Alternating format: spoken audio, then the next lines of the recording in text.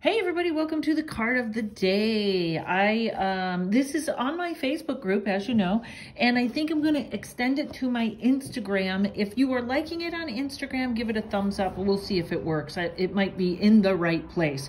Uh, and here's my new business card that I always place there cuz I lost my old one. So there's me.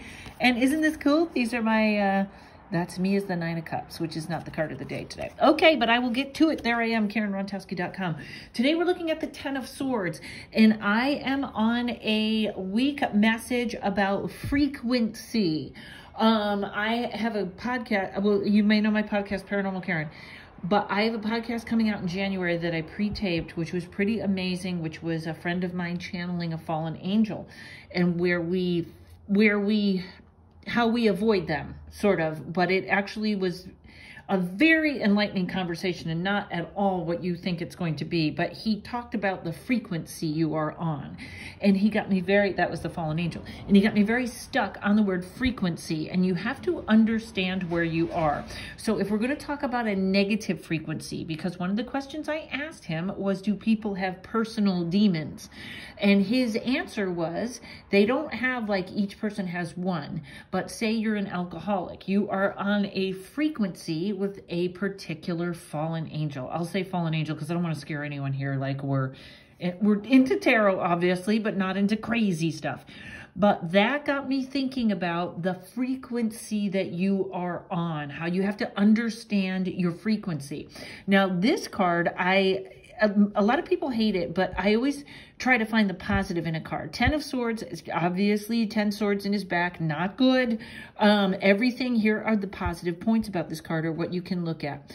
It's all done. Everything is calm and settled. If you want to get really detailed, the blue is the subconscious, the yellow is the conscious, and the black, black in tarot can either be ignorance or it can be... Um, uh, the exact opposite, like enlightenment, like the occult is it's about all colors. So it has double meaning depending on what card it's in and whatnot. Um, so, uh, where are we now? Two minutes. I'm already over what I wanted to say. But the two things I love about this card, I'm over time with what I wanted to say. Um, I love these little fingers. A lot of people don't notice these little fingers are in yogi as in get up, turn around. Uh, so the two things about this card I want you to remember is we've hit rock bottom. We're about to get up and turn this around.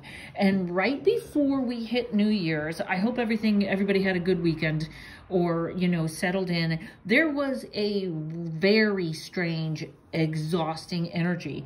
And at, after I woke up on January 1st, I was like, oh, this changed. And a friend of mine, uh, Elaine, said, maybe it's all the hope. But whatever it was, it changed. And I feel like I want to start 2021 here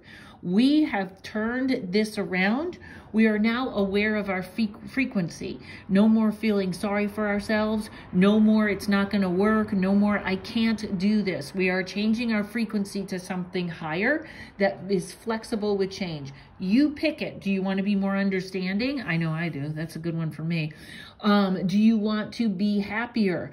It is not about, can I leave the house? Do I have to wear a mask? Who is over here? I don't have a boyfriend. I heard that for about a week. I don't have a husband.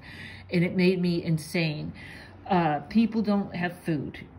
So don't worry if you don't have a husband. But right now you're changing your frequency. Maybe you're changing your frequency to that of a wife, but here that'll that'll attract a husband. But here's what you have to know. I understand and create my frequency. You can change that. So it is now time to change to the frequency you want. If you're a wife, start to act like a wife, okay? Don't act like someone that wants to date a lot. I act like someone who wants to date a lot. Um, I understand and create my frequency because I do want to date a lot. Um, so there is your mantra today. I understand and create my frequency. Go make your day with that.